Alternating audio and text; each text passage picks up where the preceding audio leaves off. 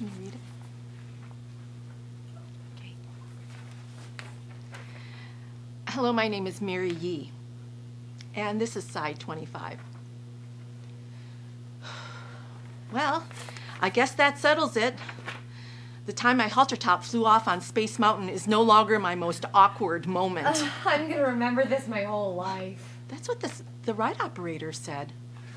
Look, honey, I'm so, so, so sorry I embarrassed you.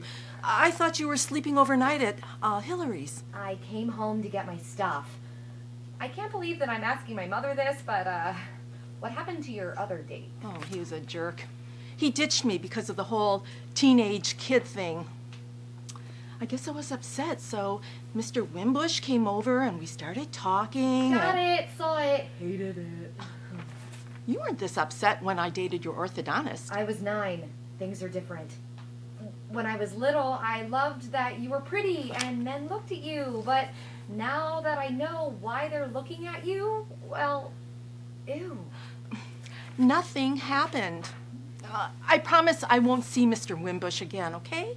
Mom, the problem is not just Mr. Wimbush, it's everything about you.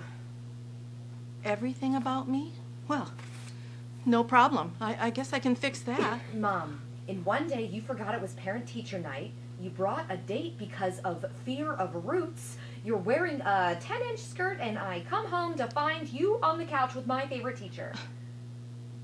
But honey, I I didn't do any of that to hurt you. I know, but it's like you're a teenager. Oh, really? I didn't say you look like a teenager, you act like one. Well, You're impulsive and selfish, and I wish you'd stop.